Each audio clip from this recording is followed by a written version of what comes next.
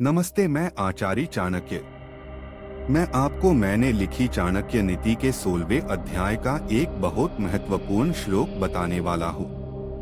अगर आपने इसे समझ लिया तो आप दुनिया में किसी भी इंसान को वश में कर सकते हैं।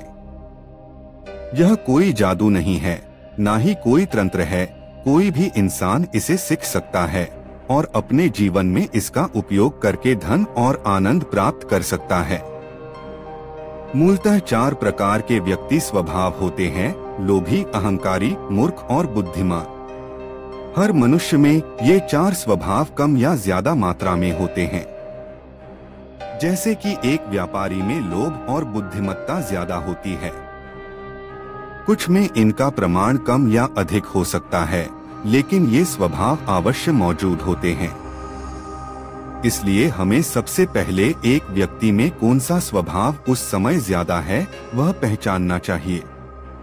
जब आप किसी से बात करें तो अपना ध्यान उसके बात करने के तरीके और उसके हाव भाव पर दे, इससे आपको उसके स्वभाव का अंदाज़ा आ जाएगा।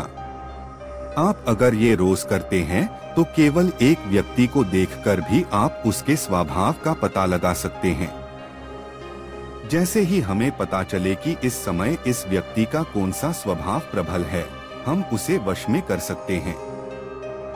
लोभी को धन देकर, अभिमानी को हाथ जोड़कर, मूर्ख को उसकी इच्छा के अनुसार कार्य करके, और विद्वान को सच्ची बात बताकर वश में करने का प्रयत्न करना चाहिए।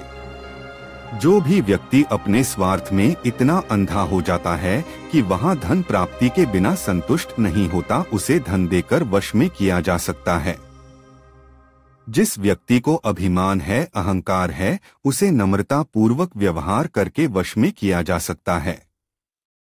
मूर्ख व्यक्ति सदैव हटी होता है, इसलिए उसकी इच्छा के अनुसार कार्य करके उसे अपने अनुकूल बनाया जा सकता है, और विद्वान व्यक्ति को वश में करने का सबसे सही उपाय है कि उसे वास्तविकता से परिचित करवाया जाए।